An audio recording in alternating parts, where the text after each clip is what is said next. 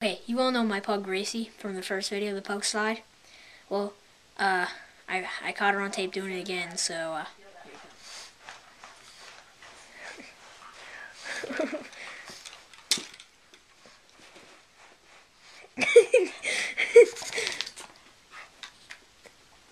uh.